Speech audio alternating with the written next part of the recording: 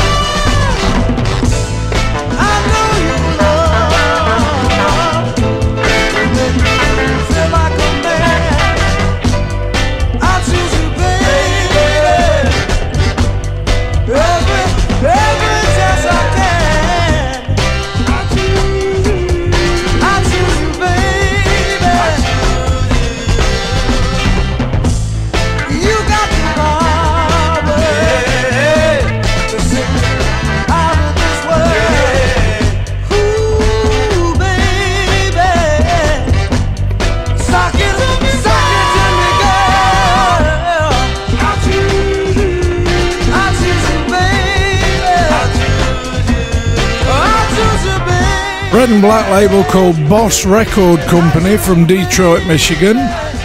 That is the celebrities. Frank Brown, Joe Hunter, and John Perry wrote the song called I Choose You, baby.